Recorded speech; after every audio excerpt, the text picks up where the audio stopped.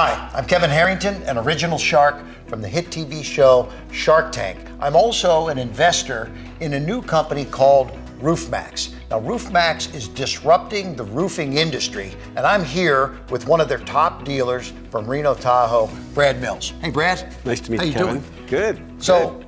I just said Roof Maxx is a disruptor. I invested in an investor in this company now. I want to know what is Roof Maxx? I mean, I know, but for the folks out there that may not know, tell us about Roof Maxx. Well, Roof Maxx is a rejuvenating system for your shingle. It actually penetrates down into the shingle and reflexibilizes the shingle because the asphalt has dried out of it.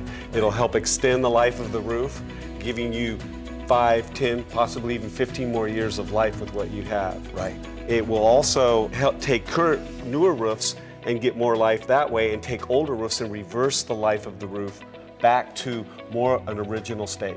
What I understand, I, I've heard that 90% of roofs that get replaced actually should have been rejuvenated and didn't need to be replaced, correct? That's absolutely yeah. true. so Um, there's millions of dollars being spent on, on new roofs when a treatment like Roof Maxx could have given you up to 15 years additional life on your roof. Absolutely. I see it all the time. Uh, Most of the roofs that we go out and see and that we treat, I know we're going to be able to help those people for at least t- uh, 10 years and possibly even 15. So most roofs are being taken off, like you said, 90% are heading towards the landfill long before they need to go. Yeah.